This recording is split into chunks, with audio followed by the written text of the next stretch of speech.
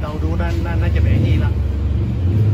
ไอ้แมงมุมฮะเป็นเป็นโจรเอ้าไปปีนตึกคุณผู้ชมครับ แล้วเข้าไปขโมยของในร้านขายมือถือ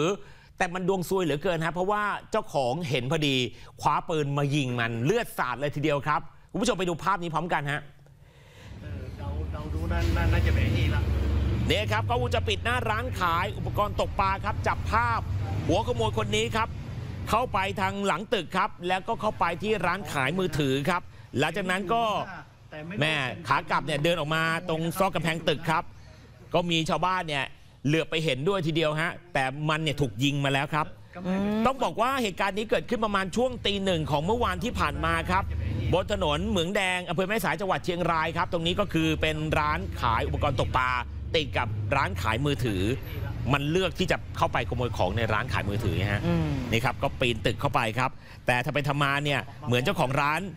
เห็นพอดีก็เลยมีการต่อสู้กันชุลมุนเลยทีเดียวครับ สุดท้ายคนร้ายเนี่ยถูกเจ้าของร้านชักปืนยิงเลือดสาดเป็นทางยาวเลยทีเดียวครับอะเราไปไล่คุยกับคนที่น่าจะพอได้ยินเหตุการณ์ที่เกิดขึ้นครับ ก็คือเจ้าของร้านขายอุปกรณ์ตกปลานั่นเองครับพี่ดุสิตเนี่ยเขาเล่าให้ฟังบอกว่าก ล้องวงจรปิดเนี่ยเห็นประมาณช่วงตีหนึ่งของวันที่ 5 กรกฎาใช่ไหมตอนแรกพี่ได้ยินเสียงดังมาจากตึกข้างอืมๆนะที่เป็นร้านขายมือถือเอ้ยก็นึกว่าตัวเองฝันไป เพราะว่ามันมีเสียงเหมือนคนต่อสู้กันเอ้ยเอ้ยเอ้ยเอ้ยอ๋อแล้วเขาหลับหลับๆตื่นตื่นๆด้วยไงก็ถึงคิดว่าตัวเองฝันเขานึกว่าฝันเออพอขึ้นไปดูบนชั้น4อะไม่ได้มีอะไรเนี่ยลงมาชั้นล่างสุดเอ้าตรงห้องครัวค่ะตรงหน้าต่างบานเล็กเนี่ยมันเหมือนถูกเปิดออกมาอ่าเขาก็เลยคิดแล้วว่ามันจะต้องมีขโมยเข้าบ้านแน่นอนครับ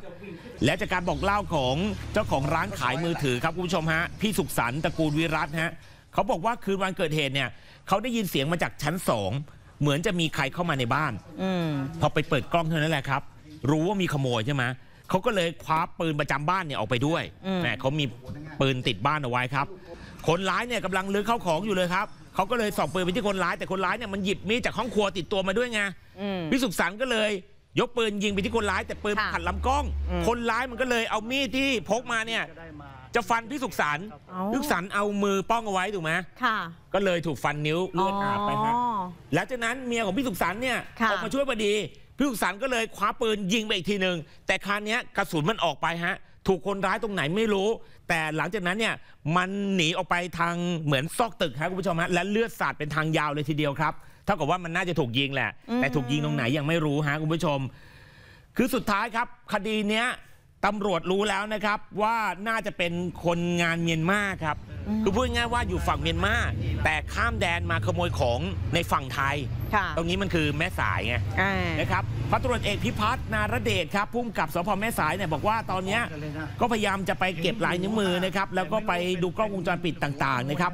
รู้ว่าคนร้ายเนี่ยเป็นคนเมียนมาก็ซอยนั่นแหละแล้วตอนนี้มันหนีกลับประเทศมันไปแล้ว คือหนีผ่านช่องทางธรรมชาตินะคุณผู้ชมฮะ ตอนนี้เดี๋ยวรอตำรวจในการติดตามตัวคนร้ายต่อไปนะฮะ ค่ะ แล้วได้ข่าวมาว่ามันเนี่ยไปไปมามาอยู่ฝั่งไทยฝั่งเมียนมาเนี่ยอยู่เป็นประจำด้วย อืม แล้วก็มีร้านค้าในอำเภอแม่สายเนี่ยโดนไปหลายหลังแล้วด้วย ค่ะ